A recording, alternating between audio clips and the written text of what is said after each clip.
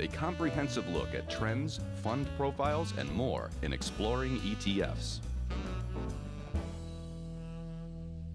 After a steep decline at the end of 2018, semiconductor stocks have been doing pretty good to start 2019 off. And so that's why our ETF research director, Neena Mishra, thought it'd be a good idea to talk about semiconductor ETFs yes. uh, in this uh, segment. So, mm-hmm. what's driving the uh, good performance? Uh, I think it's mainly due to progress in US China trade talks.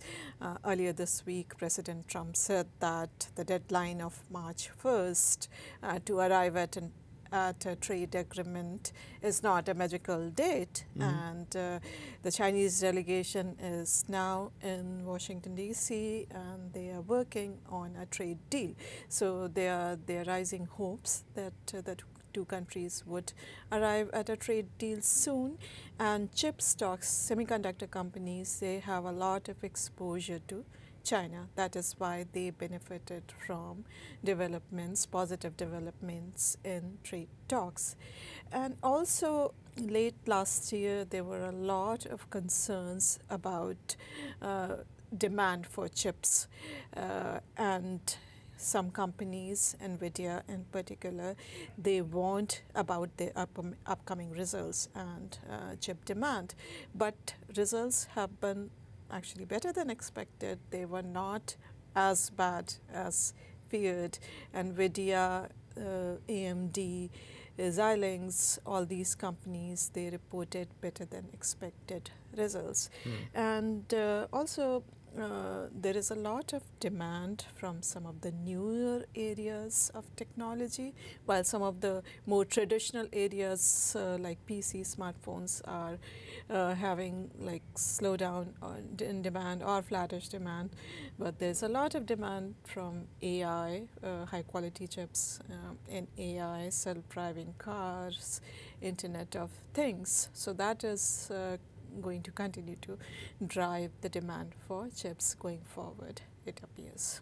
So will that demand from these new areas offset? It looks like, and there is demand for better chips, so that is why the companies they are they are working on uh, better materials and better quality of chips. Mm -hmm. So those will probably benefit these companies going forward. Okay, I was going to say with the number of products that utilize these particular uh, pieces of technology, could the demand ever dry up? Probably not. Yeah, probably not. Yes. All right. So, um, you brought uh, about what four examples? Yes, these are the four uh, most popular ETFs in this space, uh, and there are differences among these ETFs. Mm -hmm. So, since uh, these ETFs are in focus, they are in demand by investors. Investors should know at uh, uh, what these they should know what these ETFs hold, how they weight their holdings, and what are the differences among these ETFs. All right, let's look at them. First, the iShares PHLX Semiconductor ETF. The ticker is SOXX. It is the most popular chip ETF. It has uh, about 1.2 billion in assets under management. It's a modified market cap weighted ETF. So that means it uses the market cap weightings, but it caps individual securities at 8%. So no single security can have more than 8% weight in the portfolio at the time of rebalancing. And no, not more than five uh, securities can be at that Okay. Uh, so those are the some of the highlights of this ETF. Let's take a look at this ETF by going to our quote page for SOXX. Uh, the expense ratio is 47 basis points, and you can go to external homepage uh, by clicking on the link here, the iShares web page for this ETF, and you can take a look at other details, including uh, holdings. Uh, uh, so as I mentioned, it has a cap of 8% at the time of rebalancing. So that is why you see that uh, Avago, Texas Instruments, Intel, NVIDIA, these are all 8%, about 8% or below and these are all well known uh, chip companies, which are among the top holdings.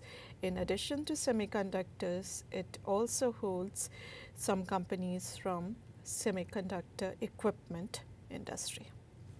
Then VanEck has their Vectors semiconductor ETF. Uh, so the ticker is SMH. Uh, this is a market cap weighted ETF. It does not have those caps that uh, SOXX has. Uh, one of the cheaper ETFs in the space uh, with an expense ratio of 35 basis points. Uh, now we can go to VanEck web, web's, uh, web page for the ETF using the link on the quote page on zacks.com and as I mentioned it has a more concentrated portfolio uh, with about 26 holdings and let's take a look at the portfolio. So Intel, which is the industry leader, has more than 12% weight in the portfolio because as I mentioned it does not have those caps uh, of 8%. Then Taiwan Semi, Broadcom, Texas Instruments, NVIDIA, these are other top holdings. Uh, uh, in addition to the US, it holds some companies, uh, international companies too, uh, from Netherlands, uh, Taiwan, uh, and a little bit uh, allocation to Switzerland. All right, SPDR S&P Semiconductor ETF. Uh, so this is an equal weighted ETF. This is also among the cheapest ones, 35 basis points in expense ratio. Now equal weighting means that uh, large companies, mid-cap companies, smaller companies, they all get almost equal allocation in the portfolio. So it has uh, more exposure to smaller companies in the space compared to the market cap weighted ETFs, which means that it could be more volatile than the ones that focus on larger companies. And when smaller companies do better, this ETF will outperform the market cap weighted ETFs. Okay. Uh, and again, we can go to the webs, uh, the quote page. Um, for this ETF, read articles, research. We have research reports on many ETFs. Expense ratio, as I mentioned, is 35 basis points. We can go to uh, State Street webpage for this ETF and look at other details, including the holdings for this ETF. So as I mentioned, these are, this is an equal weighted ETF, so all, almost all holdings are uh, in equal weights. Uh, again, well-known companies uh, that we saw in the other ETFs, they they find a place in this ETF as well. Xilinx, Microchip Technology, Micron, Analog Devices, AMD, all well-known tech companies. Uh, semiconductor companies, sorry. okay, finally, Power Shares Dynamics Semiconductors portfolio. Uh, so this is one of the most expensive ETFs in this space. This is a smart beta ETF. Uh, so it uses a quantitative methodology and because of that enhanced indexing, it charges a higher fees.